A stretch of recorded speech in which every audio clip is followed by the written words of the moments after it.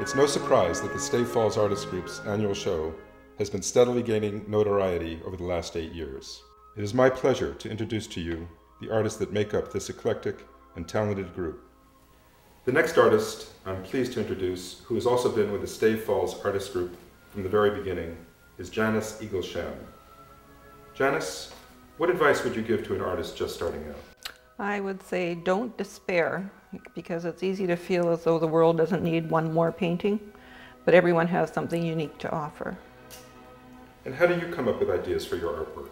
I try to carry a camera with me at all times, so if I see something that looks exciting, I take photos and have a stack on hand to work from. Did you go to art school or were you self-taught?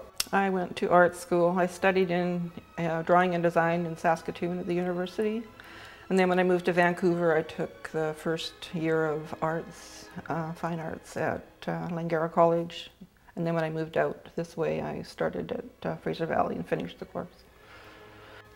And how do you keep motivated when things get tough in the studio? Um, one of my favorite things to do is to take a painting I'm not happy with and rework it. And then um, often I'll go out plein air painting. That sort of is a lighter, easier thing to do, more fun. Thank you very much. Well, thank you.